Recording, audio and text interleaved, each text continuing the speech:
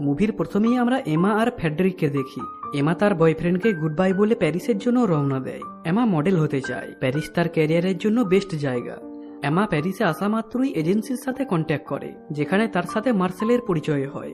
Marcel বলে, আমি তোমার ছবি দেখলাম, খুবই ভালো। তুমি ভিতরে গিয়ে ড্রেস চেঞ্জ করে নাও, তোমার মেজারমেন্ট না হবে মার্সেল মেজারমেন্ট নেয় আর বলে, কালকে একটা ম্যাগাজিনের ফটোশ্যুট হবে। তুমি যদি ভালো পারফর্ম করতে পারো, তাহলে তোমার লাইফ সেট হয়ে যাবে। এমা ওখান থেকে বের হয়ে ল্যান্ডলোডের বাড়িতে আসে, যেখানে সে থাকবে। মালিক এমাকে তার রুম দেখায় আর বলে, এখানে আর একজন থাকে। এমার রুম পছন্দ হয়, সে এখানেই থাকবে। পরের দিন সে ফটোশ্যুটের জন্য যায়, যেটা করছিল সেন নামের এক ব্যক্তি। কিন্তু এমা খুবই নার্ভাস ছিল, সে ঠিক করে অ্যাক্টিং করতে পারছিল না। সেন এটা বুঝতে পেরে এমাকে ডেকে ভালো করে বুঝায়, যাতে এমা ভালো অ্যাক্টিং করতে পারে। কিন্তু এমা খুবই আনকমফোর্টেবল ফিল করছিল, সে সবকিছু গোলমাল করে দেয়, যেটা দেখে সেন প্যাক আপ করে ওখান থেকে চলে আসে। এইদিকে এমা রুমে আসে তার সাথে তার রুমমেট জোফিয়ার পরিচয় হয়। জোফিয়া এখানে কাজ খোঁজার জন্য এসেছিল। পরের দিন এমা যখন মার্সেলের সাথে দেখা করে, তখন মার্সেল বলে, সেন তোমার সাথে কাজ করতে চায় না। আমার মনে হয় তুমি এখনও ফটোশ্যুটের জন্য রেডি নও। তুমি বাড়ি যাও দু তিন বছর পর ট্রাই করবে। এমা মনের দুঃখে চলে আসে। এইদিকে জোফিয়া বলে, চলো, আজকে আমরা একটা পার্টিতে যাব।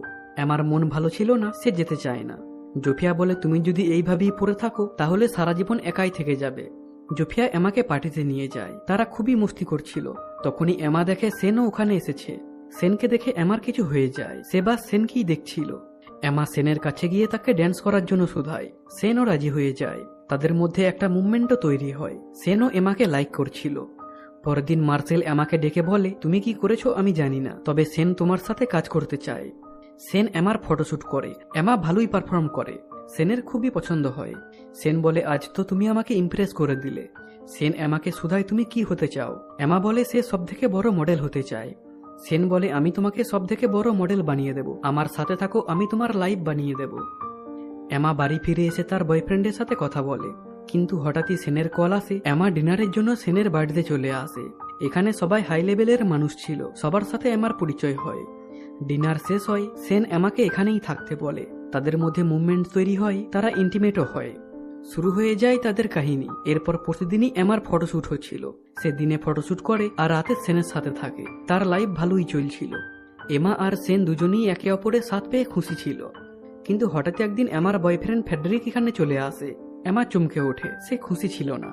কিন্তু ফেডরিক খুবই এক্সাইটেড ছিল। তার রুমমেট জোফিয়া বলে, চলো আমরা ক্লাবে যাব।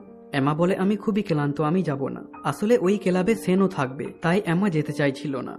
ফেডরিক যাওয়ার জিদ করে, যে কারণে এমাকে যেতে হয়। তারা মস্তি করছিল, হঠাৎই সেন ওখানে আসে।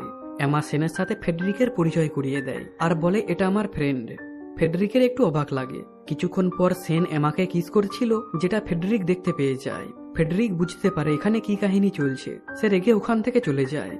আজকে রাতে এমা সেনের সাথেই ছিল। পরের দিন সকালে সেন বলে, তুমি কালকে রাতে আমার সাথে পার্টিতে যাবে।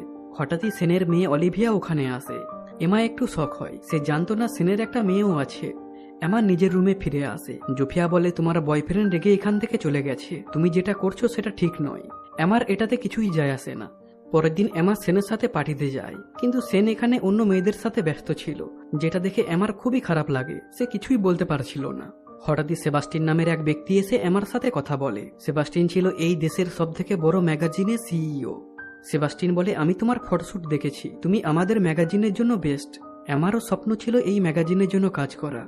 সেবাস্টিন বলে, আমি তোমাকে সব থেকে বড় ম্যাগাজিনে কাজ দিতে পারি। সেবাস্টিন তাকে পুলে ইনভাইট করে। এমা ওখানে যায়। কিন্তু সেবাস্টিন হঠাৎই তার কাছে আসে। এমা বলে, এটা করা ঠিক হবে না। কিন্তু সেবাস্টিন কোনো কথাই শোনে না। তারা ইন্টিমেট হয়। পরের দিন সকালে সেন এসে বলে, কালকের জন্য সরি, আমি আমার বন্ধুদের সাথে ছিলাম। এমা বলে, আমি কালকে রাতে সেবাস্টিনের সাথে ইন্টিমেট হয়েছি। সেন এটা শুনে খুবই রেগে যায়। সে গিয়ে সেবাস্টিনকে জোরদার পাঞ্চ করে। এমার সাথে সব সম্পর্ক শেষ করে দেয়। এমা সেবাস্টিনকে কন্ট্যাক্ট করার চেষ্টা করে, কিন্তু সেবাস্টিন তার কল রিসিভ করছিল না। এমার সব কাজ বন্ধ হয়ে যায়। সে মার্সেলের সাথে দেখা করে। মার্সেল বলে, তুমি সেনের সাথে পাঙ্গা নিয়েছো। এই ইন্ডাস্ট্রিতে তুমি কোথাও কাজ পাবে না। সবাই ওর কথা শুনেই চলে।